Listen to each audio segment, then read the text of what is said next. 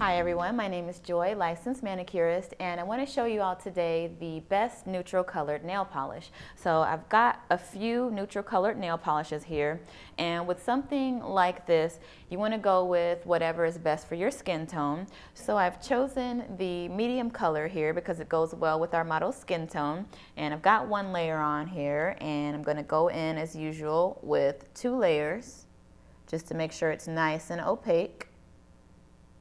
Don't want anything see-through.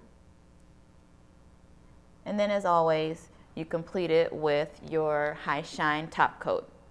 And there you have it, the best neutral colored nail polish. Thank you all for watching. And again, my name is Joi. Bye.